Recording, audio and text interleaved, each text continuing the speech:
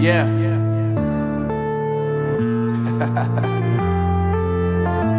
Unknown brain. Marvin Devine.